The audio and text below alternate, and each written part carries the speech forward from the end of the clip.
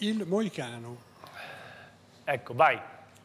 Dopo cinque anni di attesa, Biagio Antonacci torna con un nuovo disco, L'inizio. Ma l'inizio di che cosa? L'inizio, l'inizio della, del, ma che bello, sarebbe l'inizio di una rivoluzione interiore, no? L'inizio di qualcosa che puoi fare di diverso da quello che hai sempre fatto. L'inizio è lo stimolo, la vita, l'aggressione nei confronti dell'incompiuto, andare a cercare quello che tu desideri, che non hai mai avuto il coraggio di fare, uscire, l'inizio è uscire dallo schema. Eh, ti è mai successo di conoscere persone che vogliono cambiare vita e che non sono incentivate ma sono criticate? Sono le persone che scelgono la libertà, cioè le persone che vogliono vivere all'insegna di ideali propri. Però qualcuno dice sempre ma cosa fai, ma chi te lo fa fare, ma stai nel tuo, non perdere il lavoro fisso, non lasciare la tua città. Ecco, tutti coloro che vogliono fare qualcosa di diverso sono sempre criticati. Ecco, io vorrei iniziare smettendo di sentire voci che non ti fanno essere quello che sei. Cambiare per restare vivi, quindi.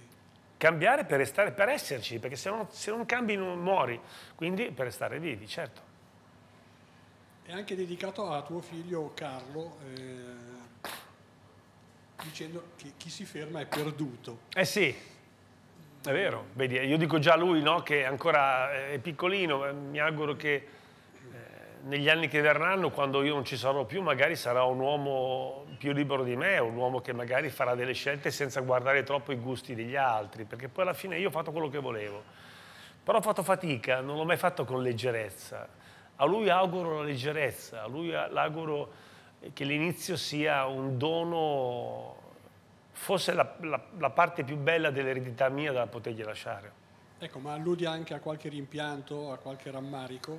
Ma no, ma guarda, fortunatamente nella vita ho avuto eh, grandi soddisfazioni. Certo, tutto quello che ho ottenuto l'ho ottenuto mai con leggerezza, no? Forse non l'avrei ottenuto, non lo so, però mi piacerebbe pensare che tante volte potevo evitare la pesantezza che il regime sociale dove noi viviamo ci impone. Ecco, forse un rimpianto lo trovi nel brano Evoco, dove sì. Dici che non hai mai detto a tuo padre ti voglio bene. È vero, non ho mai detto a mio padre ti voglio bene, è una cosa che mi porto dentro e mi porterò dentro tutta la vita e i miei figli con me lo fanno spesso.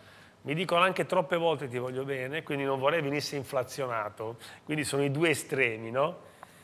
Però alla fine voglio educare al, al, al comunicare l'affetto senza vergogna.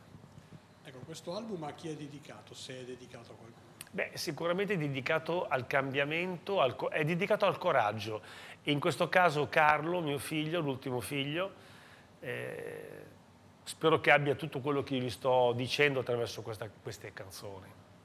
Senti, tu vieni dalla periferia milanese, come tanti giovani di ultima generazione sì. vengono dalle periferie. Cosa ne pensi? Beh, la periferia è una scuola di vita incredibile perché c'era poco bello, però c'erano tanti sogni e secondo me dove si sogna tanto si arriva dove probabilmente chi guarda la vita in maniera pratica non arriverebbe mai.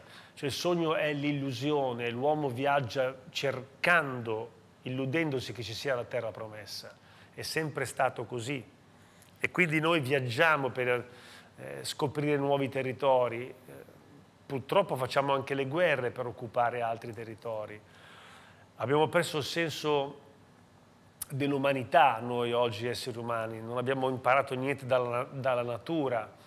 Eh, la natura ha un ciclo meraviglioso, naturale, non esiste mai la morte o, o la fine inizia, o l'inizio, esiste un ciclo di situazioni che si ripercorrono e si ripercuotono sempre, come concetto più orientale che occidentale. Ma perché c'è tanta rabbia nei giovani? Perché non si sentono capiti i giovani, perché i genitori parlano poco con loro perché i genitori non li considerano come potenziali uomini liberi, ma li considerano come potenziali uomini simili, simili a loro stessi. L'errore più grande che può fare un padre è crescere un figlio cercando di renderlo uguale a lui. Direi che basta. Grazie. Grazie. Eh, lo so, c'è da dire mille,